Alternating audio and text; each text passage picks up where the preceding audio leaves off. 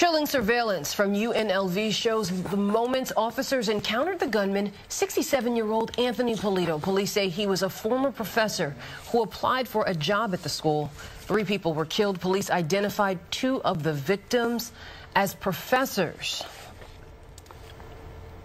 Navarro Velez and Jan Chang. Police say Polito also mailed 22 letters to university employees across the country. Police say one letter had an unknown white substance in it.